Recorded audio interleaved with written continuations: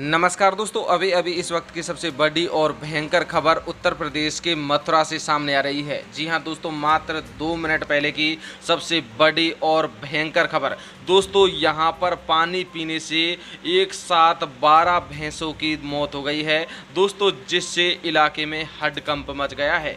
दोस्तों, आपको बता दें, इसके पीछे कारण क्या है, पूरी जानकारी आइए देख लीजिए।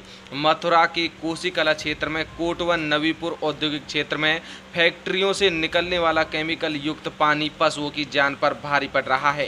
बिना ट्रीटमेंट फैक्ट्री से छोड़ा गया जहरीला पानी पीने से 12 भैंसें मर गई हैं, जबकि एक गंभीर रूप से बीमार हो गई है।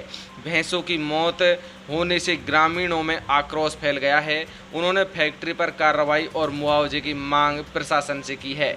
शनिवार को मौके पर पहुँचे प्रदूषण विभाग के अधिकारियों ने गंदे पानी का नमूना लेकर जाँच को भेजा है। राजस्थान के मारवाड़ी परिवार के लोग चारे एवं पानी की कमी के चलते मवेशियों को प्रति वर्ष उत्तर प्रदेश में लेकर आते हैं, जिससे जंगलों में पर्याप्त चारे के साथ साथ पीने के पानी की समस्या से निजात मिल सकी। पिछले कई दिनों से बयाना राजस्थान के गाँव सिंगरावली निवासी विजय सिंह, सबरन सिंह, लखो आदि साथियों के साथ कोटवन नवीपुर औद्योगिक क्षेत्र में डेरा डाल रखा है। औद्योगिक क्षेत्र से गुजरने वाले रजबहा में शनिवार को उनकी भैंस पानी पीने के लिए उतर गई।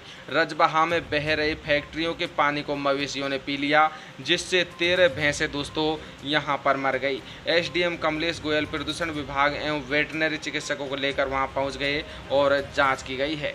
दोस्तों, अब यहाँ पर इसके पीछे जो जिम्मेदार लोग हैं वो कौन है? क्योंकि दोस्तों, यहाँ पर जो गरीब किसान हैं, वो राजस्थान से उत्तर प्रदेश गए हैं और दोस्तों, वहाँ पर भी उनकी बारह भैंस मर गई हैं और एक जो भैंस है वो गंभीर रूप से घायल है। दोस्तों, हर अपडेट आपको हमारे चैनल पर मिलती रहेगी। अभी चैनल आप सब्सक्राइब करके बेल आइकन प्रेस ज़रूर कर लें। धन्यवाद दोस्तों।